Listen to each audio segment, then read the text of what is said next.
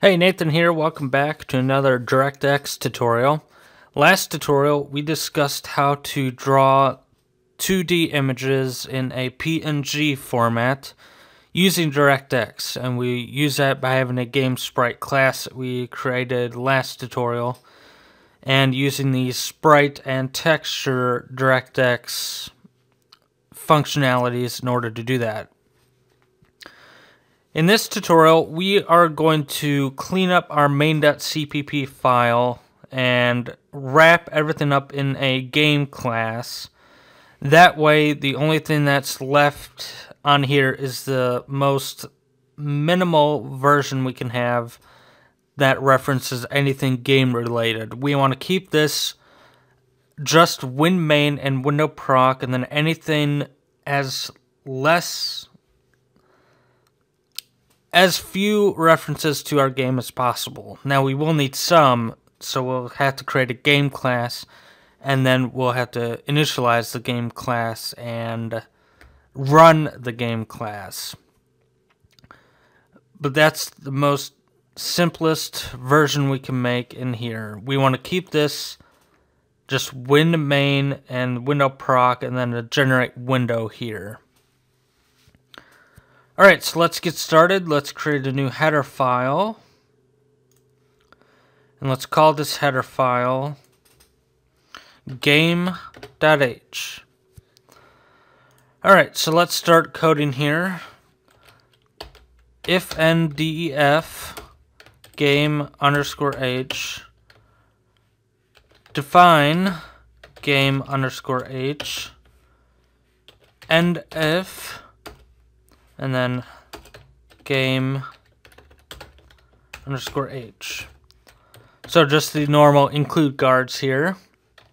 Now we will need to include graphics device and we will need to include our game sprite. Alright, so let's generate the class game. And the game is going to have a few functions, you know, initialize, run, update, and draw. So those would be public accessible, and we also need the constructor and destructor.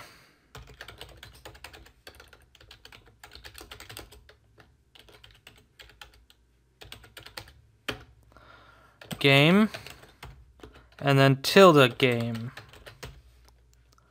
Alright, game functions. It's going to be boolean, so we know if it has been successfully initialized or not. So bool initialize, opening parentheses, uh, we need a handle to our window so we can initialize it properly. Uh, let's just call this function void run. You can call this whatever you want. This is what we will call from our WinMain function. Run will call update and draw. Uh, you can call this whatever you want. I'm just going to call this run. Void update, it accepts a float game time. Void draw, float game time. Alright, so that's it for the functions. Now let's set up the uh, private section for our pointers. So we need a graphics device. I'm just going to call it G device. And then we need two game sprites here. Player and then player 2.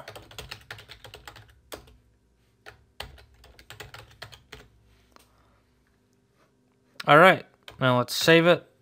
And now let's go to the CPP file. So right click the source files folder and add new item. It's going to be a CPP file and let's call this game.cpp.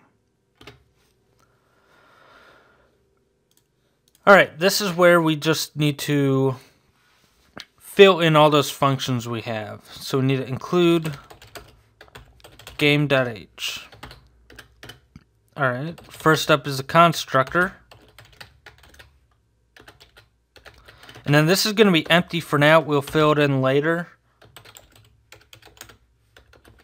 But we're just going to make this empty for now. Now we have bool. We need to have our initialize. And it's HWND, HWND.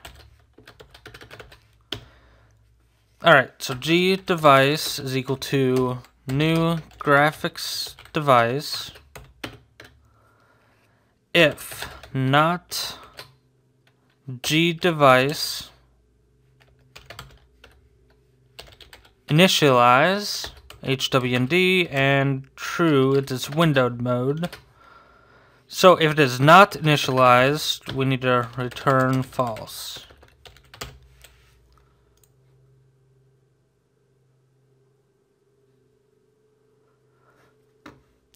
Uh, we need to update this initialize for boolean and we'll get to that in a minute. Player is equal to new game sprite. Uh, we're going to give it a x and y position, so 100, comma 200. If not player initialize we need to pass a G device device uh, player paper.png whatever file you want to use and then the width and height of the image. 58 86 two closing parentheses opening closing curly brackets and let's do this right now Return false. And that's G device with a capital D here. Alright.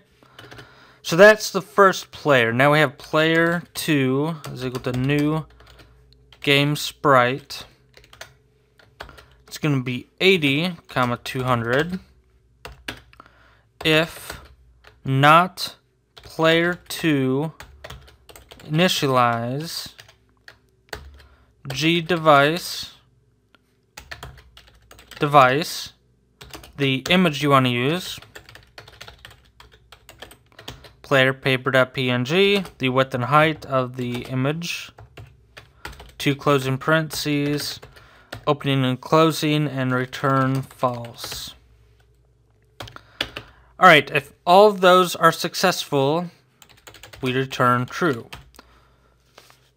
so this just determines if our game has been successfully initialized.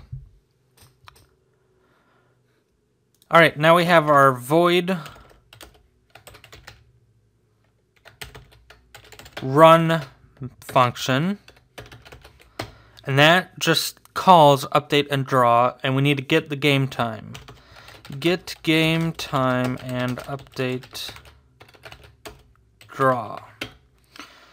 So float game time is equal to zero. We're going to leave this alone for now. We'll do this in a dedicated tutorial where we discuss timers and getting elapsed game time and stuff like that.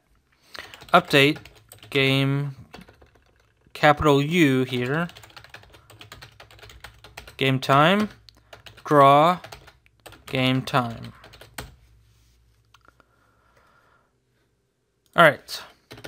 Now the actual update and draw functions. Void. Game. Update. Float game time. Update our sprites and other game logic. Void game. Draw. That's going to be float game time as well simple RGB value for the background. So use XRGB instead of ARGB. So we're just going to copy our clearing and drawing from here, you know, simple RGB value instead of RGB.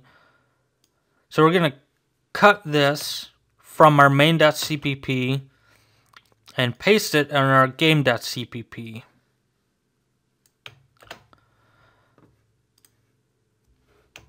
Then save that. And now we need our destructor here. Game, uh, no void here. Game colon colon tilde game. If player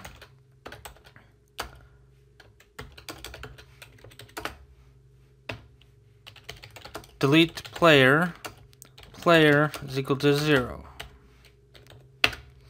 If player two, delete player two, player two is equal to zero. If G device, delete G device, G device is equal to zero. So just cleaning up all of our pointers and deleting them. All right. So we need to work on this graphics device initialize function here. So let's expand this. Let's go to graphics device here. And let's change the initialize. Uh, that's the header file for graphics device. Let's change initialize from void to boolean. B-O-O-L. Let's save that, and let's go to graphicsdevice.cpp, and let's change this void initialize to bool initialize.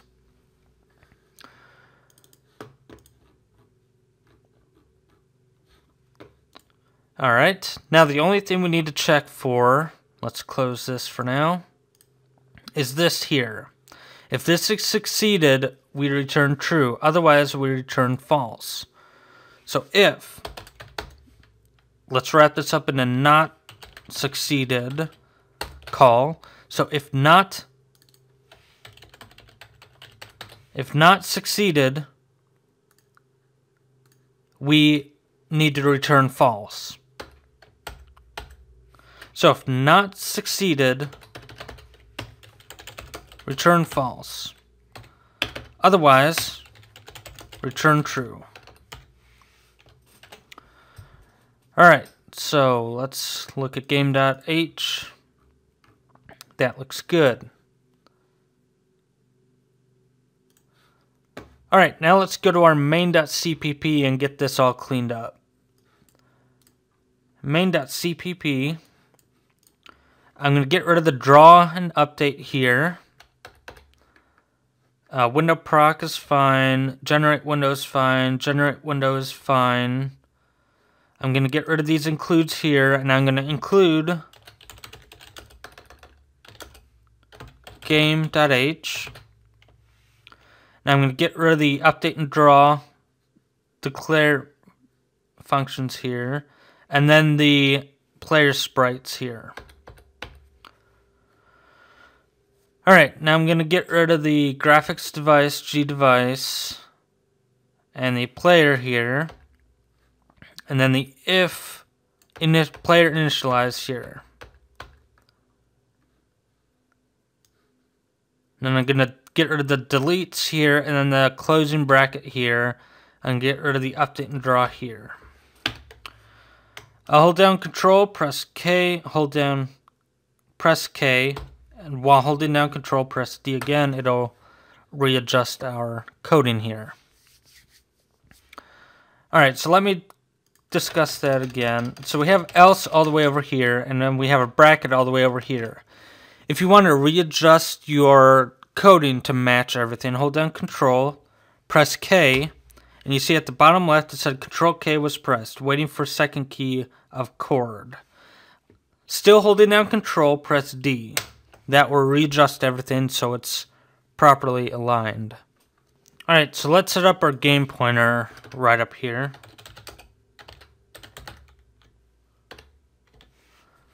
Right above WinMain, we have our game pointer here. Alright, so after inside the WinMain function, inside this if generate window block here, right after message, let's create a new game.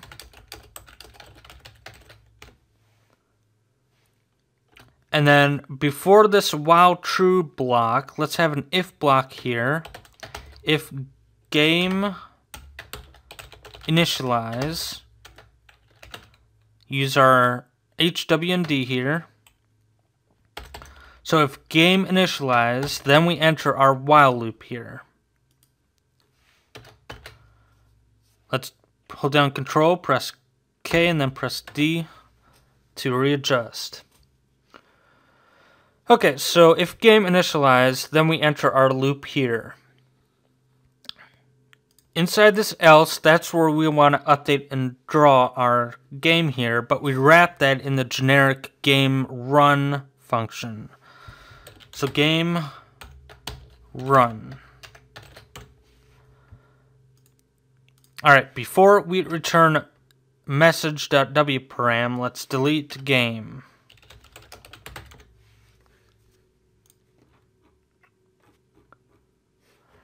Alright, let's save this. Let's press F5 and see if there's any errors. It has succeeded, but it quit right away. And that is because we need to move this ending bracket before the delete game here. Again, Control KD to readjust everything save it, and then run it again. And it's still active. So, that was it for this video. We just provided the most minimalistic way to reference our game inside the WinMain function. We did that by wrapping everything in a game class and just calling game game run here. Of course, we need to initialize it, and then if it succeeded, then we enter our while loop here. So that's it for this video. I hope you enjoyed it. Next video, let me just see what we have in store for the next tutorial. Next tutorial, we discuss updating sprites, you know, providing movement. So let me show you a sneak peek of that. So we just update our two sprites here in two different directions. And I'm holding down the title here, which will pause the game. You see him moving the title here. So that's it for this tutorial. Next tutorial, we'll discuss how to move the sprites. So I hope you enjoyed, and I'll see you next time.